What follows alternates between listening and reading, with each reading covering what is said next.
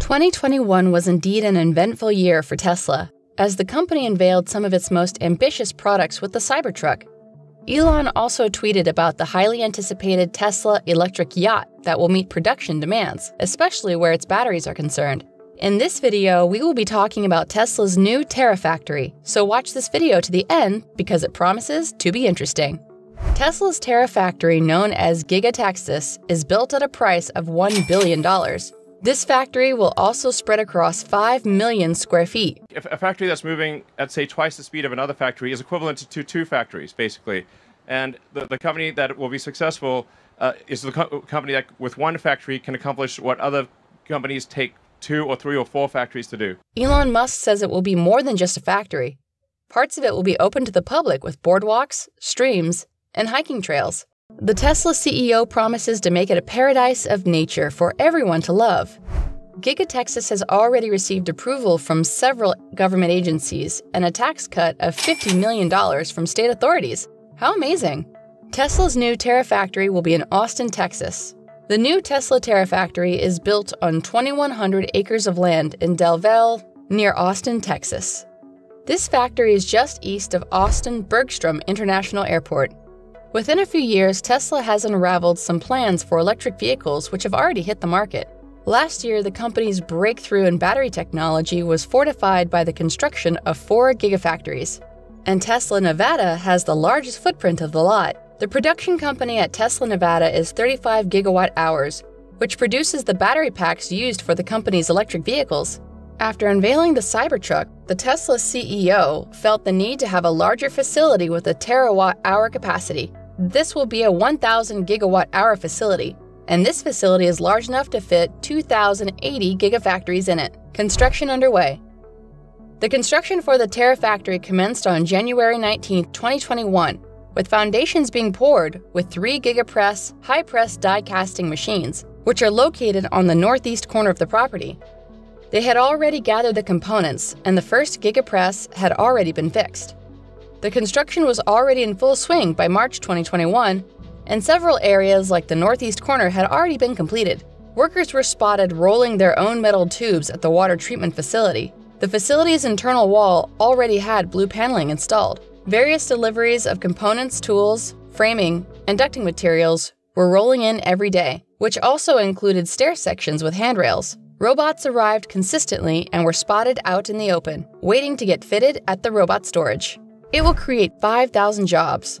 When the Terafactory gets fully completed, it will create around 5,000 jobs over four years. This is one big thing that Elon Musk wants to execute. The company plans to hire about 5,000 workers, with salaries averaging up to $47,147. They were looking at a wide range of job profiles, all beginning from entry level positions at a starting salary of $35,000 to more specialized positions that will pay even more.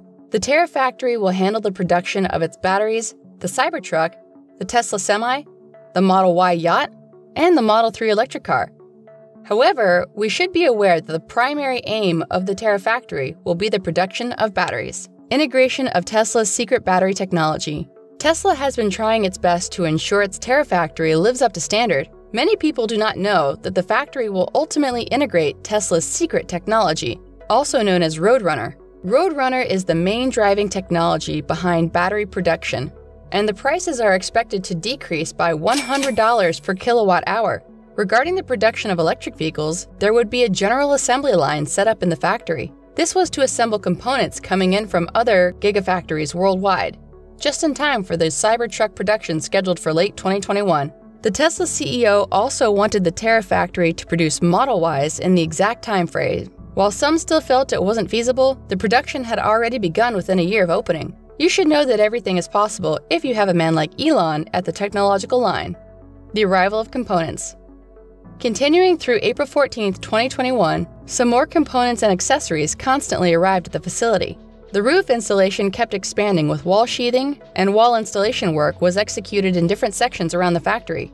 An extensive gas line was installed in the Gigapress area with backfilling in the excavated site, which will be used to bury the pipeline. New footings were also installed in various areas. The south side was also expanded, and steel columns were recently erected in the latest section of the site. There have been many executions on this site. As we speak, the battery cell production area is expanding north. Electrical fencing around the electrical substation has also been established. We hope to see more developed substations as construction progresses. Introduction of lithium mining. Tesla had already partnered with various firms like Canada's Gigametals. This was to outsource various metals. The company also aimed to build a lithium hydroxide chemical plant to support the Terafactory's battery operations. Meanwhile, there has been a big change in this regard a place called Lithium Valley. This place would be an abundant source of material, which situates between Oregon and Nevada. Having a proper mining operation set up, Tesla's Terafactory is expected to be more self reliant. And now the big question is if there would be enough available lithium or not. We should note that lithium is the third most common element in the world, and with the free hydrogen chemical plant. What then is next for Tesla? Well, Tesla might just tap into the resource that could significantly impact the Terafactory. We hope you find this information about Tesla interesting. Thanks for watching. See you in the next video.